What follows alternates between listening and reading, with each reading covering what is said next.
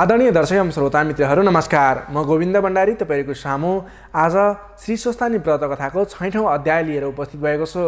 आदरणीय दर्शक एवं श्रोता मित्रहरू हामीले दैनिक रूपमा हाम्रो यस जिजिबी ज्योतिष च्यानलबाट श्री स्वस्थानी व्रत कथा लिएर आउने गरिरहेका छौँ। तपाईँले सुन्नुभएको छैन भने सुरुबाटै पुरा कथाहरू सुनेर पुण्य लाभ गर्नुहोला। तपाईँले हाम्रो यस भिडियोलाई हेर्दै गर्दा लाइक गरिदिनु होला भने हाम्रो यस जिटिभी ज्योतिष च्यानललाई सब्सक्राइब गर्नुभएको छैन भने तल रहेको सब्सक्राइब बटनमा क्लिक गरेर सब्सक्राइब गरिदिनु होला। यही अनुरोध गर्न चाहेँ। यही अनुरोध सँगसँगै अब लाग्दैछौँ हामी श्री सुस्तानी व्रत कथातर्फ।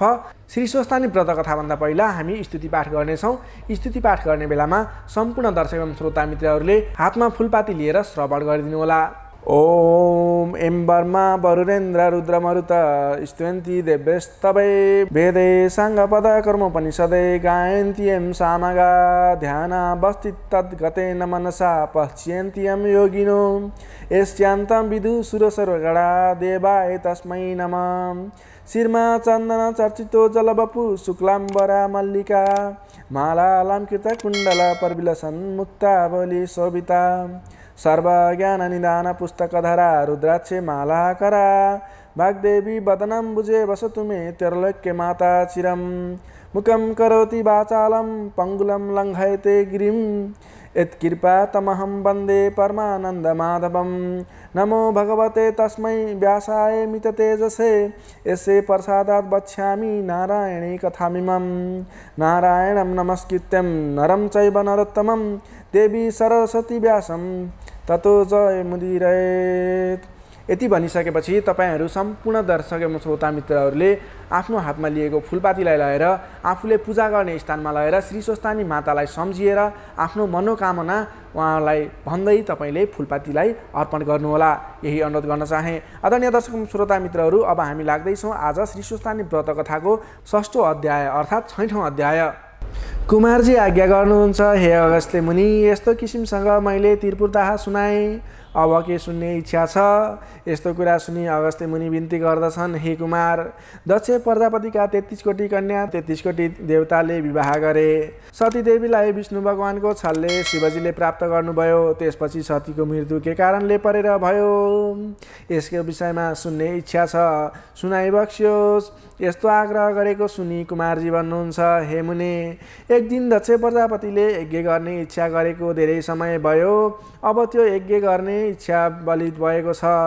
सम्पूर्ण सामग्री तयार गर अनि महादेव र सतीदेवी बाहेक अरू छोरी चाहिँ ब्रह्मा विष्णु आदि समस्त देवता यक्ष गन्धर्व किन्नर्व नाग दैत्य अप्सरा दश दिक्पाल आदि सबैलाई निमन्त्रणा पठाऊ भन्ने आफ्नो स्वामीको आज्ञा पालन गर्दै बिरिणीले सम्पूर्ण सामग्री तयार पारी।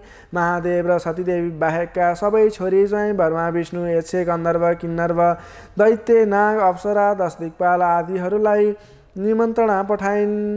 दक्षका सबै छोरी ज्वाइँहरू नाना वस्त्र अलङ्कार पहिरी यज्ञमा होमना अनेक मणि माणिक्य फलफुल वस्त्र आदि यज्ञमा होम गर्ने सामग्रीहरू लिएर दक्ष प्रजापतिको यज्ञ हेर्न भनी आए।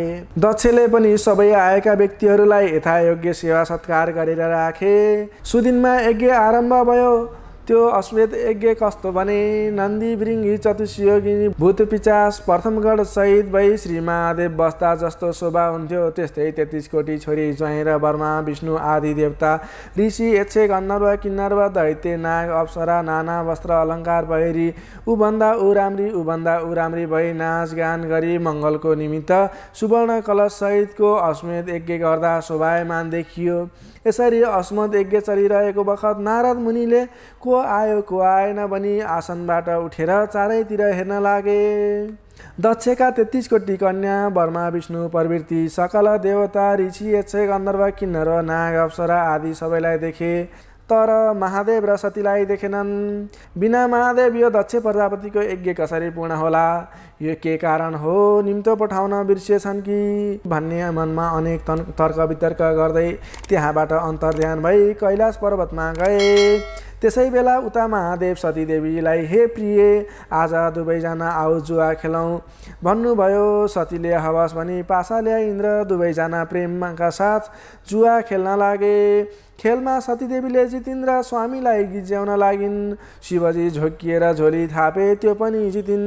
अनि नागरूपी गहना थापे त्यो पनि जितिन्। त्यसै बेला दक्षको निम्ता पाएर देवता दानव यक्षे गन्धर्व किन्नर्व बा विमानमा बसेर गइरहेको तिनीहरूले देखेर सतीले स्वामीलाई सोधिन् ती विमानमा बसेर जानेको हुन् आज्ञा होस् भनी सोधिन्। महादेवले तिमीलाई के को धन्दा पर्यो? आफ्नो काम गर। भन्दा सतीदेवी चिन्तित भएर माथितिर नै हेरिरहन् अनि शिवले हाँसेर मुकुट थाप्नुभयो त्यो पनि जितिन्। यसै निकैपल्ट हारेकोले शिवजीसँग अब केही पनि थिएन। यसरी नै निकैपल्ट हारेकोले शिवजी पनि केही नभनी हाँसिरहनुभयो। अनि सतीदेवीले बिन्ती गरिन् हे स्वामी हजुरका सबै वस्तु मैले जितिसकेँ अब के थाप्नुहुन्छ? लौ थाप्नुहोस्। अनि शिवजीले म अब आफ्नो अङ्ग थाप्छु भन्नुभयो अनि सतीदेवीले हात जोडेर विनम्र स्वरमा भनिन् हे स्वामी हजुरको अङ्ग अघि पनि पछि पनि मेरै हो। यदि मैले हारेँ भने हजुरको अङ्गको साटो कुन कुरा टुक्र्याउला? यो सम्पूर्ण ब्रह्माण्डमा हजुरको अङ्गको साटो दिने मेरो विचारमा कुनै पनि वस्तु छैन। फेरि हजुरको अङ्ग जुवा खेली जितेर आफ्नो बनाउनु पर्ने पनि मैले आवश्यकता देख्थिनँ। जुन दिन मेरा पितामाताले सहित हजुरको हातमा राखिदिए उसै दिनदेखि हजुरको अङ्ग मेरो मेरो अङ्ग हजुरको भइसक्यो। यसमा शङ्का छैन हजुरले आफ्नो अङ्ग थाप्नु पर्दैन। सतीदेवीको यस्तो स्नेहपूर्ण वचन सुनेर महादेव प्रसन्न भए धन्य तिमी भनेर जुवा खेल्न छोडी मिठा मिठा बात गर्दै कैलाशमा बसेका थिए।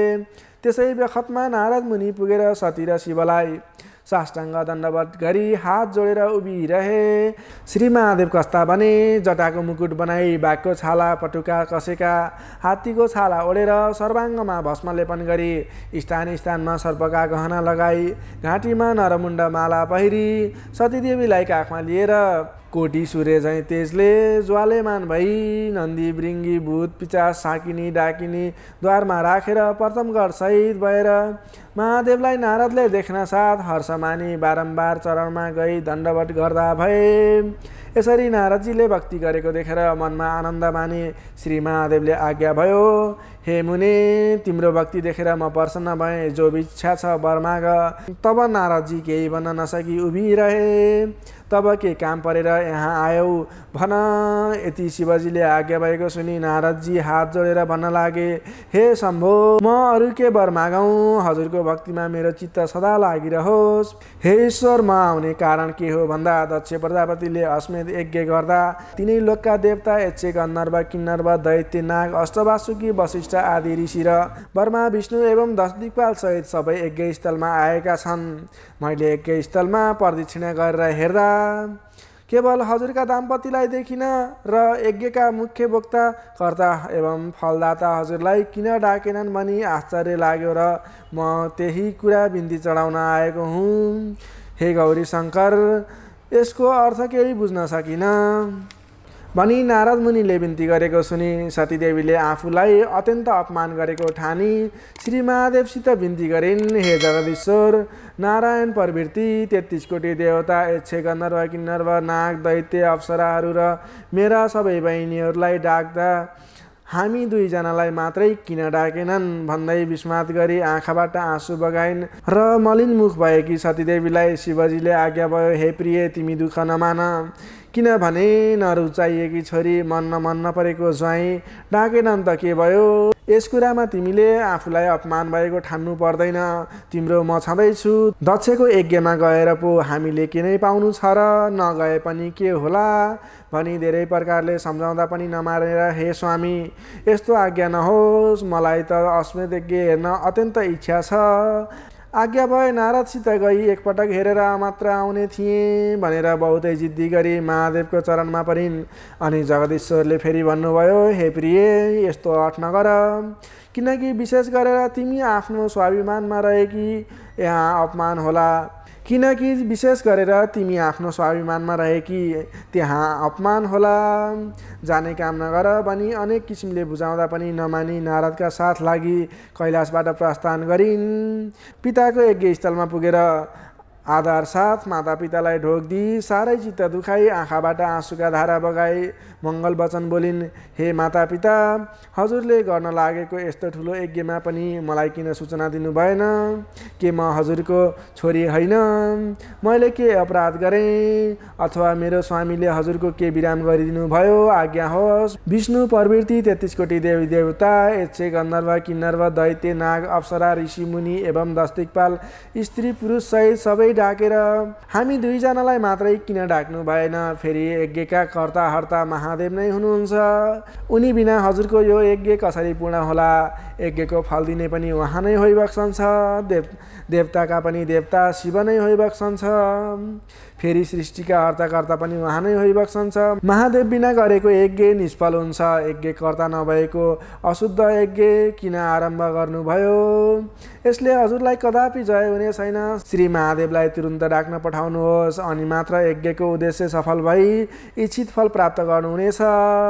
हे पिता शङ्करको असङ्कर गरी थाल्नु भएको यो यज्ञ शङ्कर नभई पनि पूर्ण हुन्छ कि ब्रह्माण्डमा दुई सङ्घर छन् यदि छन् भने मलाई आज्ञा होस्। फेरि मेरा स्वामीलाई नडाकेको कारण के हो? हे माता पिता मलाई भन्नुहोस् भनी सत्यदेवीले भनेको सुनि दक्ष प्रजापति भन्न लागे हे पुत्री त मनमा दुःख नमान। तेरो पति भोलेनाथ यो यज्ञमा डाक्ने योग्य छैन। किनकि तेत्तिस कोटी देवी देवता यक्षे गन्धर्व किन्धर्व नाग आदि अनेक रङ बिरङ्गका वस्त्र मणिमाणिक्यले अनेक अपूर्व गहनाहरूले सज्जित भई श्रीखण्ड आदिले सुगन्धित भई लेपन गरी अनेक थरीका मङ्गल यात्रा गरी गन्धर्वद्वारा गीत र अप्सराहरूले नाच आदिले शोभित भएका छन्। यस्तो यज्ञमा देख्दै घिन लाग्ने त्यो महादेवलाई कसरी डाक्ने हे सती तेरो स्वामीको के ढङ्ग छ? देहमा खरानी गसी कम्मरमा बाघको छाला बाँधी हात्तीको छाला ओढी बिस बाङ दतिरो खाई राता राता आँखा पारी। जस्तो मन लाग्यो उस्तै नाची सर्पको गहना लगाउने जटाको मुकुट कस्ने मुण्डमाला पहिरी दायाँ हातले डमरू बजाई बायाँ हातले तिर्सु त्रिशुल समय भूत प्रेत आदि अघि पछि लगाई दिगम्बर मतवाला जस्तो जहाँ पायो उहाँ पाउ राखी। लाज नमानी हिँड्ने यस यज्ञमा भने देवकन्या नागकन्या गन्धर्व कन्या र तेरो सबै बहिनीहरू तेत्तिस कोटी देवी देवताले शोभायमान यस्ता पवित्र यज्ञ स्थलमा त्यस्तो देख्दै अशोभा हुने र घिन लाग्ने तेरो स्वामीलाई कसरी डाकु भनी? नडाकेको हो फेरि तँलाई मात्रै डाकौँ भने उपपछि लागेर आउला भनी। तँलाई पनि डाक्न सकिन त दुःख नमान फेरि तैँले हाम्रो सेवा पनि गरेकी होस्। अपराध पनि केही गरेकी छैनस्। तेरो स्वामी यस्तो गतिको हुनाले नडाकेको हो। फेरि सृष्टि स्थिति समार गर्ने महादेव हुन् र यज्ञको फल दिने पनि उनै हुन् भनिस्। त्यो कुरा होइन त्यो त बहुला मात्र हो। यज्ञकर्ता त श्री नारायण हुन्। सृष्टिकर्ता चतुर्मुख वर्मा हुन्। स्थिति समारकर्ता नारायण महाविष्णु हुन्। त्यो महादेव कहाँको देवता हो? त्यसलाई नडाकेर मेरो यज्ञ कसरी अपूर्ण होला? तेरो स्वामी महादेवलाई त म कसै गरी पनि राख्दिनँ त्यसले मेरो यज्ञमा के वरदान देला? तेत्तिस कोटी देवता भरमा विष्णु स्वयं उपस्थित छन् भनी दक्ष प्रजापतिले जगदीश्वर स्वामीलाई क्षुद्रवतनले निन्दा गर्दा त्यो सुनेर मनले सहन गर्न नसकी राता राथा आँखा पारी क्रोधले नाक जस्तो गरी लामो लामो श्वास सुस्केर हाल्दै दाराकिटी जुरुक्क उठेर भैँमा लात्ताले हानी स्वामीको निन्दा गरेको सम्झी चित्तले सहन गर्न नसकी छातीमा मुड्कीले हानी शिव शिव भन्दै स्वामीको नाम उच्चारण गर्दै यज्ञ कुण्डमा हामफाली प्राण छोड्दा भइन्। अनि हिमालय पर्वतकी स्त्री मेनकाका गर्भमा बास लिन पुगिन्। इति श्री स्कन्दे पुराणे केदार खण्डे माघ महात्मे कुमार अगस्ते सम्वादे श्री स्वस्तानी व्रत कथायाम सतीदेवी देहत्यागम वर्णन नाम षष्ठो अध्याय हरिहरि। उपनयतु मङ्गलम वा सकल जगन मङ्गलालय श्रीमान। दिनकर किरण निबोधित नवनलिन्दलानि व्याक्षण कृष्ण। काले वर्षतु पर्जन्य पृथ्वी शशालिनी दशोऽयं क्षोभरहितो भ्रमण सन्तु निर्भया अपुत्र पुत्रिण सन्तु पुत्रिण सन्तु पौत्रिण। निर्धना साधना सन्तु जीवन्तु शारदा शतम तत्रैव गङ्गा यमुना च तत्र गोदावरी सिन्धु सरस्वती च। तीर्थानि सर्वाणि वसन्ति तत्र यत्राचुदोदार कथा प्रसङ्ग। या कुन्देन्तु सारहार धवला या शुभ्रा वस्त्रावृत या वीणा वरदण्डमण्डितकरा या स्वेदा पद्मासना या वर्माच्युत शङ्खर प्रवृत्ति भेट्दै सदा वन्दित।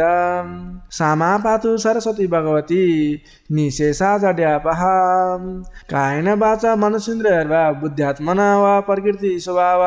करोमि यद्दत् सकलम परस्मै नारायण इति समर्पयत श्री स्वस्तानी दिव्यार्पणम यति सुनिसकेपछि सम्पूर्ण दर्शक एवं श्रोता मित्रहरूले श्री स्वस्तानी मातालाई सम्झिएर आफूलाई इच्छा लागेको वर माग्नुभयो भने अवश्य पनि श्री स्वस्तानी माताले तपाईँको इच्छा कामना पुरा गरिदिनेछन् भनेर श्री स्वस्तानी व्रत कथामा लेखिएको छ। त्यसै कारणले गर्दा आदरणीय दर्शक एवं श्रोता मित्रहरू तपाईँले श्री स्वस्तानी व्रत कथा पुरा सुन्नुभयो भने मात्रै पनि तपाईँलाई धेरै पुण्य लाभ हुनेछ। आदरणीय दर्शक श्रोता मित्रहरू यो त थियो श्री स्वस्तानी व्रत कथा। तपाईँलाई हाम्रो प्रस्तुति कस्तो लाग्यो तल कमेन्ट बक्समा तपाईँलाई जस्तो लाग्यो त्यस्तै कुराहरू सल्लाह सुझाव प्रतिक्रिया दिन सक्नुहुनेछ। तपाईँले हाम्रो यस भिडियोलाई लाइक गर्नुभएको छैन कृपया एक लाइक अवश्य गरिदिनु होला भने तपाईँले हाम्रो यस भिडियोलाई सेयर गरेर धेरैभन्दा धेरै व्यक्तिहरू सामु पुर्याइदिनु होला यही अनुरोध गर्न चाहे।